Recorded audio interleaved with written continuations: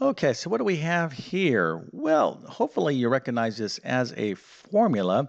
It's certainly an equation, but this happens to be a formula, a temperature conversion formula where if we know our temperature in degrees Celsius, we can figure out the equivalent temperature in degrees Fahrenheit. And just in case you forgot, Celsius is uh, the temperature unit of measure that's commonly used in places like Europe, and Fahrenheit is what we use here in the United States. So if we know our degrees again in Celsius, we would plug it in right here, do this math, and we would get our equivalent temperature in Fahrenheit. So if you notice though, this formula is written in terms of F. In other words, we're solving for F based upon uh, knowing our Celsius, okay, uh, reading. But let's suppose we wanted to go from Fahrenheit to Celsius. Well, we would like to have a nice, lovely uh, formula where C is equal to, right? So the input instead of C would be Fahrenheit. We would plug that into whatever numbers and we would be solving for C. So that's really the task of this particular problem is rewrite this formula in terms of C or solve this equation 4C. And if you're studying any sort of algebra in any kind of math class, okay, you could be taking pre-algebra, algebra 1, college algebra, it doesn't make a difference. You need to know how to solve for a particular variable when there's more than uh, uh, one variable in an equation. And this is very common in not only uh, math classes like algebra, but in uh, science classes like physics, chemistry, etc. Okay, so if you think you could do this problem, put your answer into the comment section. I'm going to show you the solution here in a second. Of course, I'm going to go through this step by step, but this is extremely important algebra skill and it tends to confuse a lot of students as well. But anyways, I'm going to show you the answer here in a moment and we'll uh, go ahead and walk through exactly how to solve a problem like this. But uh, before we do that, let me quickly introduce myself. My name is John. I'm the founder of TC Math Academy. I'm also a middle and high school math teacher. I've been teaching math for decades and I'm telling you right now, you could be successful in mathematics. And I'm speaking to all of you, especially those of you that struggle in math. But what you need is great math instruction, clear, understandable, and comprehensive. So if you need help in your current math course, or maybe some sort of a test uh, you're studying for, something like the SAT, ACT, GED, ASVAB, maybe a teacher certification exam, or if you homeschool, check out my math help program. I'm going to leave a link to it in the description of this video. Um, I literally have over a hundred plus different math courses that cover all these various categories. It will really help you out big time. Now, as a math student, you should be taking excellent notes, but if your notes are so-so, work on improving your notes. But in the meantime, you can use my notes. I'm going to leave links to those in the description of this video as well. And if this video helps you out, don't forget to like and subscribe, as that definitely helps me out. Okay, so let's go and take a look at the answer now. And there you go. All right, so given this formula, and uh, of course, this formula is written in terms of f, or f is equal to 9 fifths c plus 32. Uh, if we solve this for c, we would end up with this formula. There's actually another variation of this, but this is the most common answer. So this is the answer to the question. And if you got this right, well, this deserves a very nice happy face and A++ a 120% and multiple stars so you can feel extra special for being awesome in math today. All right, that's a nice job that you're able to solve uh, this particular formula or equation for C. Okay. All right. Now, if you weren't able to do this problem, uh, don't uh, you know panic. All right, because I'm going to walk you through exactly how to think about how to do these uh, uh, solve these type of problems. And again, if you are studying algebra, uh, this topic that we're talking about here is it falls under the unit or chapter where you're studying equations, all right, how to solve basic equations like one-step equations, two-step equations, multi-step equations, but somewhere in that unit or chapter that you're studying, there should be some sort of topic like solving literal equations or solving for a specified variable or something with formulas. That is the section that we are talking about, just in case this video caught your eye and you're like, yeah, I'm struggling with this on my algebra course. This is the uh, kind of subtopic. It's going to fall under your unit or chapter in solving equations, okay? Now, if you need extra help on this stuff, I'll give you some suggestions at the end of the video, but let's go ahead and get into actually how to solve this problem. All right, so here is the problem. And again, we want to solve this equation for C, all right? Or and another way to uh, write that is to write this in terms of C, which means just reshuffle this um, uh, everything in this equation such that we have C is equal to not is F, not F is equal to. But before we do this problem, let's do a nice easy problem first so we can just kind of get the concepts down on how to solve uh, uh, for C in that um, temperature conversion formula. So here's a nice little formula here, okay? And uh, for those who don't recognize this, this is a physics, for physics formula, and its force is equal to mass times acceleration. Now, this formula is written in terms of F, right? i.e. its F is equal to. But let's go ahead and rewrite this formula in terms of A, which means we want to go ahead and solve for A. So how do we do that? Well, here is how you do these type of problems.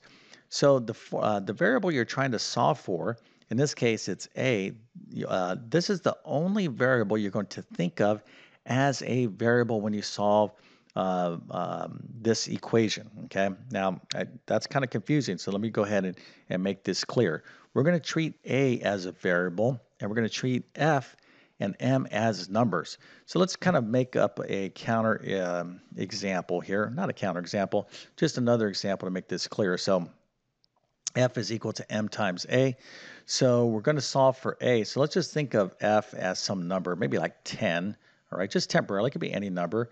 And m is, uh, let's say, uh, 2, okay? It could be any number. But the whole idea here is we're treating these as number numbers, and we're going to treat a as the variable we're trying to solve for as a variable. So let's leave that as a variable. So 10 is equal to 2a. So how do we solve uh, for a in this equation here?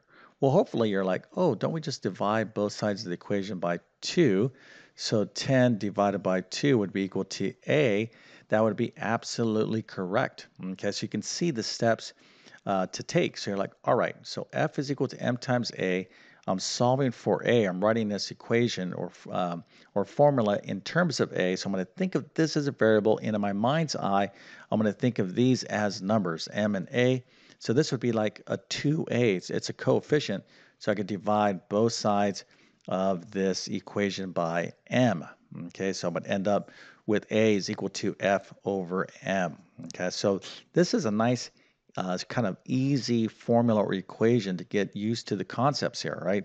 Again, the form, the variable you're trying to solve for is the only thing you're going to treat as a variable the rest of the variables you're going to treat as numbers. And if you get confused, it's good to just kind of do an example problem where you replace those other variables with some numbers just so you can kind of get a feel of the steps you need to take. Okay, so let's go ahead and do this problem now, being that you have a sense of what to do. So here's the problem. We want to rewrite this thing in terms of C.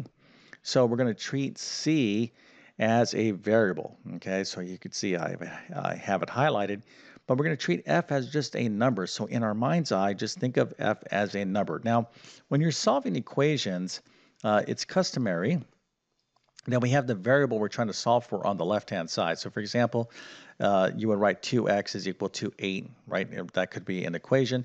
The variable we're trying to solve for is on the left, okay? We wouldn't write 8 is equal to 2x.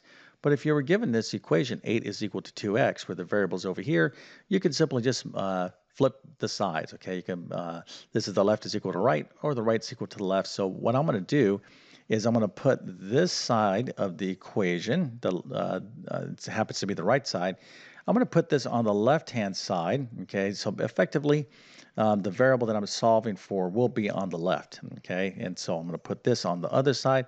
You can do that. There's no issue with that. So that's the first thing I'm going to do just to kind of keep this nice and easy uh, when I'm thinking about, uh, you know, what steps to take. All right, so let's go ahead and take our first step. So here I have 9 fifths C plus 32 is equal to F. Now, if you need an example, uh, and you're like, okay, I'm not quite sure what to do. Well, just make something up. Let's say uh, even use a different um, uh, variable. What if I had 9 fifths x plus 32 is equal to, I don't know, let's say 40, right? Well, to do this problem, you certainly need to solve, know how to solve um, kind of basic algebraic equations. If you don't know how to solve like one-step, multi-step equations, then you're not going to be able to do these type of problems. So that's kind of my first suggestion uh, if you're confused about this already, it's like, all right, do you really even know how to solve equations with just one variable? If you do not, you need to go back and review that. Okay, I'll give you some suggestions on how you can do that, but you got to first stop and think, do I even know what steps to do here, right? Hopefully, in this particular problem, you would know the first thing you need to do is subtract 32 from both sides of the equation and then, uh, you know, that, well, before I get too far ahead on this particular problem, that's our first step. Okay. Hopefully, you know that is the first step, and that's the first step we need to do here. Okay. So 9 fifths C plus 32 is equal to F. What we need to do is subtract 32 from both sides of the equation. So let's go and do that here. We're going to subtract that 32. We can write it just like this. And when we um, uh, look at the results of doing this, we have 9 fifths C. We're going to kind of add down in a column manner. So 9 fifths C plus nothing is 9 fifths C. 32 minus 32 is 0. And then F minus 32, we can write it this way, all right? Okay, so that is like our first step. And again, if you get confused, and a lot of students do, is just make yourself an example problem. But if you're confused with this, then, you know, again, uh, you need to go back and review uh, basic equations. All right, so what do we do now? Okay, we're pretty close. We have 9 fifths C. We want to solve for C. Well, let me give you um, a little suggestion. Anytime you have a variable and it's involved in a sum or a difference, i.e. you're adding it or subtracting it to any other values like numbers or other variables, always put uh, parentheses around that group. Okay, use grouping symbols. This can help avoid a lot of confusion later down the line. This is a good habit to get in. If uh, a lot of students, if they left this, if they uh, left their work just like this, they did put parentheses in there, you can make mistakes later down the line. And um, anyways, just blame me on this. It's a good habit just to be like, okay, f minus 32. Let me put some parentheses around that group. Okay, so now let's go ahead and solve for C.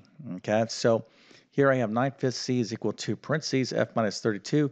What do I need to do? Well, the easiest way to do this problem is to multiply both sides of the equation by the reciprocal. Okay, so here's 9 fifths if I multiply this side of the equation by 5 ninths, 5 ninths times 9 fifths, or sorry, 5 ninths times 9 fifths is going to be 1. Uh, it's going to result in 1c or c. Okay, this is going to be c right here, right? So it's going to be 45 over 45, which is 1 or 1c or c. And that's what I'm looking to get is just c. But if I multiply this side of the equation by 5 ninths, I got to multiply this side over here by 5 ninths as well. So the way I'm going to write that though, instead of uh, having my 5 ninths over here, like I have, like so, okay, I'm going to put that multiplication in front of that so this can look nice and organized, look very much like a formula when we're all done with this. Okay, so 5 ninths times 9 fifths C is 1C or C, and that's going to be equal to 5 ninths times this group right here. And this is the answer. Now, uh, this is one form of the answer. Now, some of you are like, you know, might be saying to yourself, well, do I have to distribute this 5 ninths? Do I have to multiply it by that f and that 32? Well, you could, okay? You certainly could. And if you uh, did that, you would come up with this uh, equivalent uh, formula. And you could even turn this into uh, decimals as well if you wanted to. But basically, the formula that I would be looking for if I was your math teacher is this. Okay, so we just saw for C uh, given our formula for uh, Fahrenheit. Now, the one thing that you want to um, keep in mind is that, well, you have a different formula. Did we, um, you know, you know, break anything in terms of the actual, you know, relationship between uh, uh Celsius and Fahrenheit? No. Okay, uh, the Celsius or the the relationship between the temperatures is the same. We're just expressing it differently. Okay, these two formulas are effectively equivalent. Okay, they're saying the same thing. They're uh, relating the um, uh, the it's basically establishing the relationship between Fahrenheit and Celsius. But we're just writing these formulas in different ways. This one's written in terms of F and this one is written in terms of C. So this is something you're going to have to be uh, very, very comfortable with, not only in algebra courses, but in science courses as well. And again, this can be very confusing. So let me go ahead and give you some guidance as I kind of um, uh, promised before. So if you're struggling uh, with these type of problems, first thing is make sure you know how to solve equations. So I have a ton of videos on my YouTube channel on uh, all sorts of basic equations and more advanced equations. So get really, really good at equations.